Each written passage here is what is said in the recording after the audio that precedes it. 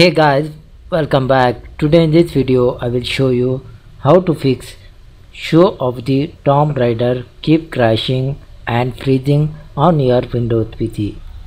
So for this guys first method you disable the resource intensive tasks. Hopefully after this it will fix your issue. And the second method is verify the game files. Hopefully guys this time it will fix your issue. And if not work to try the third method, just right click on start and go to device manager. Click on device manager.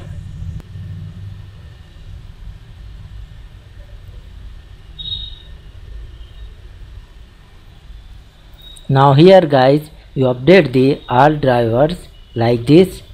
Open the driver, right click on driver, select the update driver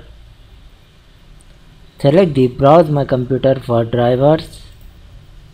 Select the let me pick from a list of available drivers on my computer. Select the driver and click on next. So same guys update the all drivers. After you must and should restart your computer.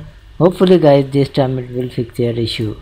So thanks for watching this video. Please like share and subscribe.